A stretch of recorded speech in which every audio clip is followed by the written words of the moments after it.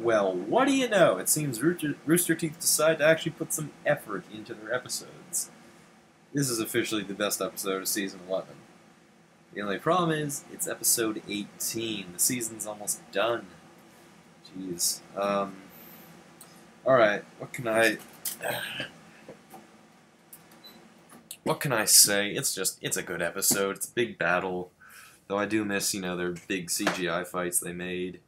Um, pretty cool, pretty epic bits. Um, everything's just kind of going to shit. The shit's hitting the fan. But the ending is, that's where it's like, whoa. Washington sacrifices himself. Well, no, he doesn't die. He um, makes it so the others can escape. But I think it's implied that he might actually be dead at the end. That's pretty good. Um, despite what I think about season 11, um, the development with Washington as a character, especially with the interaction with the Reds and the Blues, though overly drawn out, is done very well. So I can say that the least. Um, especially with his relation with Tucker, that was done well. But this season has really just been one mess up after the next. Like, there's so many episodes. They just wasted so much time.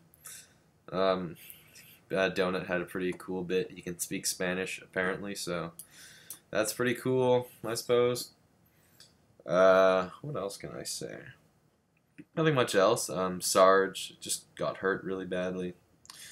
So I guess it is a good episode overall. But let's hope they can keep this up. There's only a few more episodes left. Will they be good? I hope so. I mean, odds are this is just going to trail into another season, and I'll end up watching it, and who knows, maybe it'll be a good season. You know, season. You know, that happened with season nine and ten. Season nine was awful. Season ten was amazing.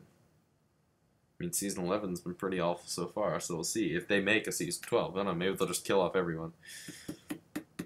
But I do think they need to somehow stop this show one point or another. That's all I have to say, so good job, Rooster Teeth, and actually putting some effort. Alright, see ya.